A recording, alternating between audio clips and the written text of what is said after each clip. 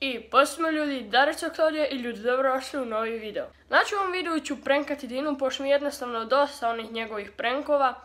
Tako da on sad dolje spava, a ja ću ga politi sa hladnom vodom. Prije nego što krenu u video, sam da kažem da ostavite like na ovom videu, subscribe se na kanal i da obavezno posjetite moj kanal i odite na Dinin Instagram, ovdje vam piše. I da, idemo u video. Znači jonka on santusmaailma.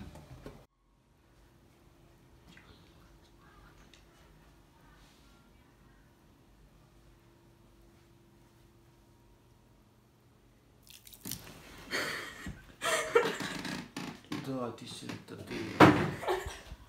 praegu saab tee. toinen ei muutu kuhu. Daj nemoj više Isus. It's just a prank bro. Koliko sati? E, Deset. Isuse Bože. Jevo ti srce lupa je. Oh, To ti je za sve one prankove. Znaš kako mi srce lupa? Što kak je meni srce lupalo kad si ti Daj mene- probaj me. Kako sam se usre. You just got pranked, bro. Ti si budala.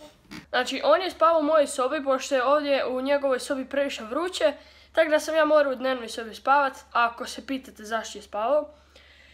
I da, obavezno ostavite like, share i subscribe, ako vam se sviđa ovaj prank. I ako želite još, obavezno napišite u komentare i to je bilo to, pozdrav!